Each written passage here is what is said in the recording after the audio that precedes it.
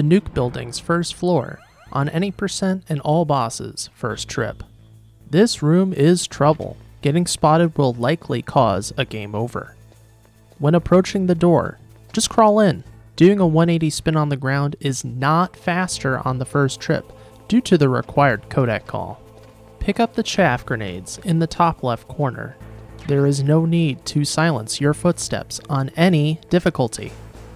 If you do not want to do the quick throw, spend your time picking up the grenades. Then, we will stalk this guard until he passes by the elevator. But to go as fast as possible, we want to move towards the stairs guard at the earliest moment and quick throw him.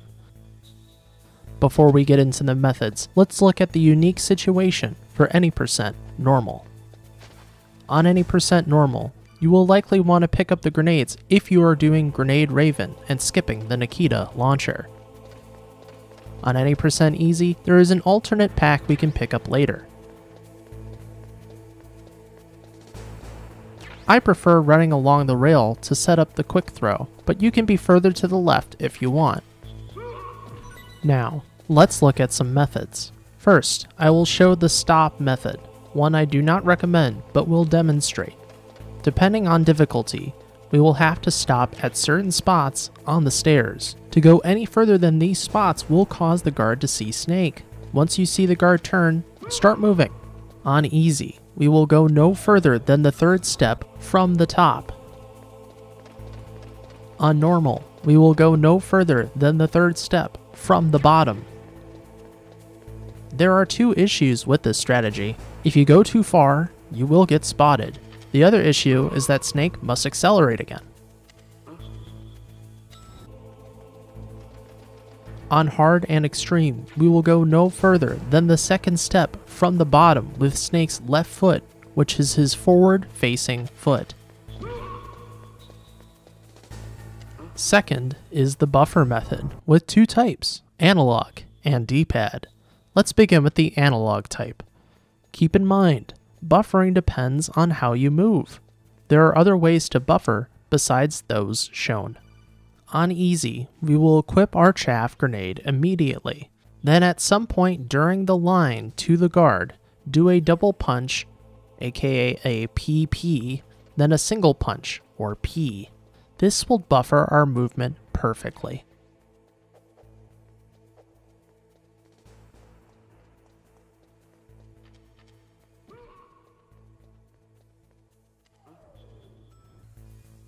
On normal, hard, and extreme, we will equip our chaff grenade once we go prone to crawl under the door.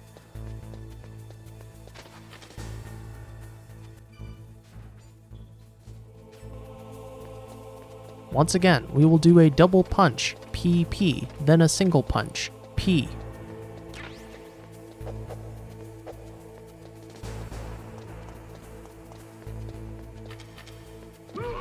Now, let's demonstrate the D-pad type. On easy, equip your chaff grenade immediately. Go up left at the third shadow.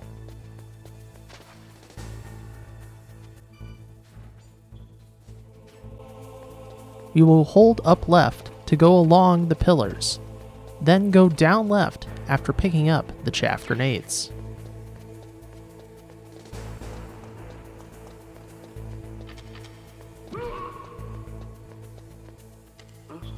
On normal, hard, and extreme, equip the chaff grenade and go up left at the third shadow.